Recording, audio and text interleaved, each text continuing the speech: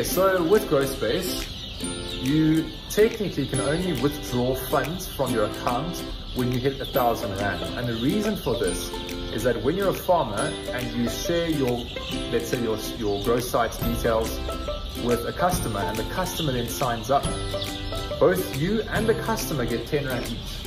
You know, just to maybe go and buy a cook or buy something in the future. Just to encourage, you know, people to sign up and it's our way of, of just sharing the love a little bit. Yeah. So, so in this case, your funds get transferred to your wallet, Okay. and then from your wallet you need to process a uh, withdrawal request. Yeah. Admin then pays you across.